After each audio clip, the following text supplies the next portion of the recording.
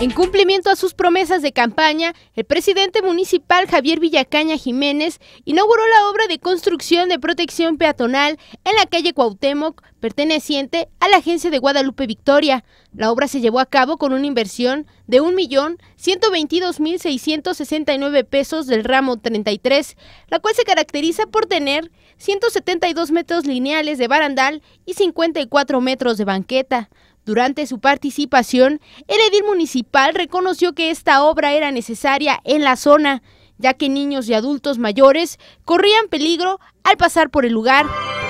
Es cierto, era una necesidad apremiante este barandal,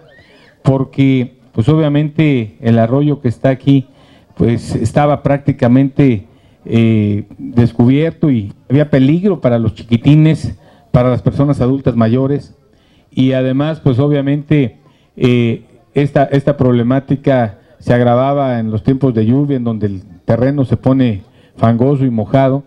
Y bueno, qué bueno que en esa gran responsabilidad que le, otorgamos a nuestro agente municipal, él en consenso con ustedes, dentro de las acciones que determinaron para Guadalupe Victoria, tomó en cuenta esta inquietud de los ciudadanos. Villacaña Jiménez expresó su compromiso de seguir trabajando en beneficio de las y los colonos, realizando obras que sean de impacto social.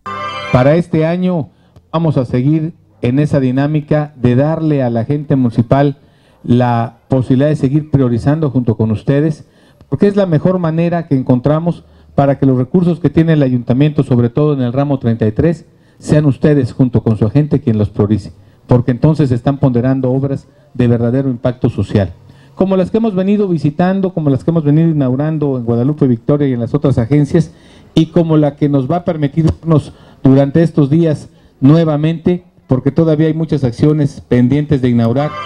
Con imágenes de José Antonio Reyes, reportó para MBM Televisión, Vicky Ramírez.